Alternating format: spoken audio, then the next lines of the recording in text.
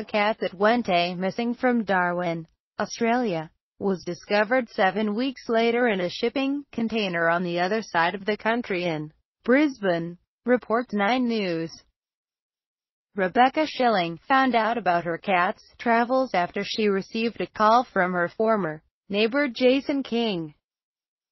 Schilling had sent some of the belongings King left behind to his new home in Brisbane. And somehow Pippa the cat snuck into the box. The container was sent out February 20 and didn't reach King until April 10.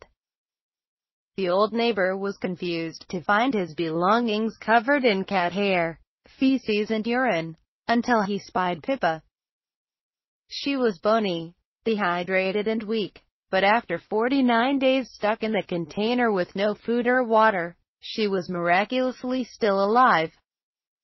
I was delighted that I knew where she was, but I was initially concerned she was really suffering, and might need to be put down. Schilling said,